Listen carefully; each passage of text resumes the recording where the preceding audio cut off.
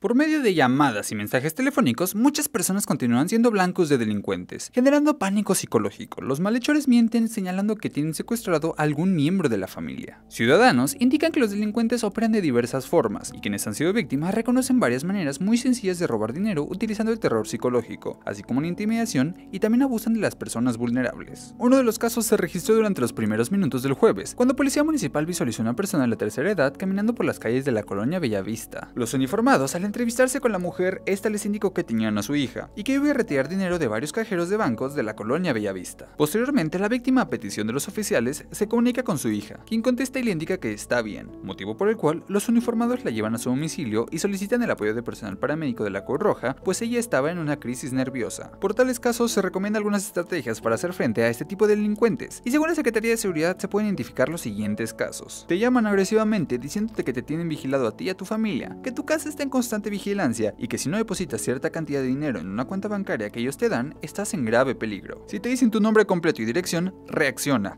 Muchos de estos datos los han obtenido del directorio telefónico, de algún blog o de alguna página donde hayas metido estos datos, pero ten por seguro que ni siquiera saben quién eres. Nunca des más datos al sujeto que te llama, porque ni siquiera te conoce, es por ello que debes ser más hábil que los extorsionadores. Ellos te dirán cosas sueltas para que tú caigas abriendo la boca y des más datos. Por ningún motivo deposites dinero en cuentas bancarias de extraños, a cambio de rescatar un pariente afligido como dicen serlo. La recomendación es que inmediatamente al colgar con el extorsionador se comunique con su pariente y verifique si es en verdad de él quien se trata. Si no logra comunicarse con su familiar, nunca dé por hecho que al no contestarle se trate de él. Los extorsionadores son muy hábiles, insistirán que ese mismo día le deposite el dinero. En algunos de los casos, alguien llama llorando. Esta es una de las formas de extorsión más utilizados. Por último, nunca permita que personas ajenas entren a su casa. Sea muy precavido con los repartidores de agua, gas, trabajadores eventuales y aboneros. No se trate de menospreciar a la gente, pero sigue tomar las reservas necesarias con información personal y de domicilio. Ante cualquier situación que pudiera pasar, trate de comunicarse a los números de emergencia para reportar el número de donde le estén marcando. Con información e imágenes de Jesús Acosta y con voz de Jorge Mora para el Salmantino y el Salmantino Radio.